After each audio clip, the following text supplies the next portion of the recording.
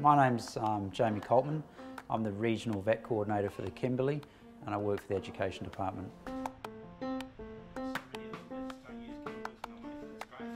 The Kimberley is a very remote part of Northern Australia. Uh, a lot of our students um, come from remote locations. The Careers Expo, that gives an opportunity for our students to be able to see um, what's there in the world of work and the world of careers and it gives them the opportunity to, to get that exposure.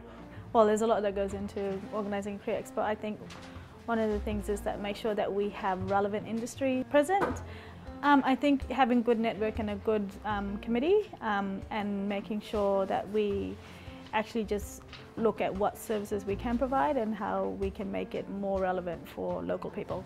So that networking um, and engaging with key organisations like the Broome Chamber of Commerce, which have a, a, wide range of people that they connect with, and each of the schools and, and everybody that's on the committee has a really good network within uh, the Broome and the West Kimberley, so it's enabled us to have a really wide reach. So we started um, basically going to industry and asking industry if they'd like to be involved in sponsoring the event.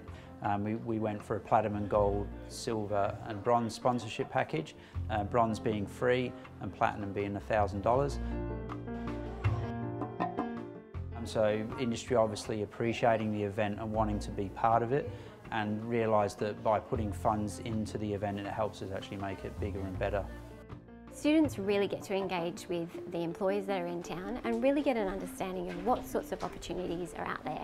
We're really hoping to inspire them and give them an idea about different places they could go, different jobs that they could do.